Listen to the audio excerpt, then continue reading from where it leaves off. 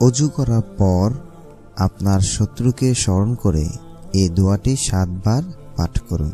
দোয়াটি হচ্ছে, হামিম লা ইউন সারুন যদি আপনি এই দোয়াটি পাঠ করেন, তাহলে আপনার মহাশত্রু সাত দিনের মধ্যে বন্ধু পরিণত হবে। সুবাহান আল্লাহ এই দোয়াটির কথা সোশ্যাল মিডিয়াতে বা অন্যান্য জায়গাতে পোস্ট করা হচ্ছে। এখন এই কথাটি কতটুকু সত্য? আসল কথা হচ্ছে, এরকম কোনো দোয়া হাদিসে বা কোরআনে সরাসরিভাবে আসেনি। শত্রুর ব্যাপারে আপনি দোয়া করতে পারেন।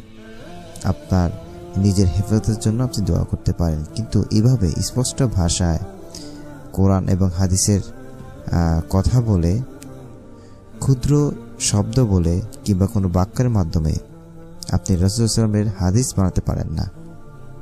সরাসরিভাবে বলতে পারেন না যে এই বাক্য পাঠ করলে এমনটা হবে, যতক্ষণ না কোরআন এবং হাদিসে দলিল রয়েছে। সুতরাং এখানে যে দোয়াটি পাঠ করা হচ্ছে, এটি কোরআন এবং হাদিসে টোটালি নেই। এর যে ফজিলতের কথা বলা হচ্ছে, তা সম্পূর্ণ বানোয়াট। আল্লাহ সুবাহতালা আমাদেরকে বুঝা মানার তাফিক দান করুক। আমিন।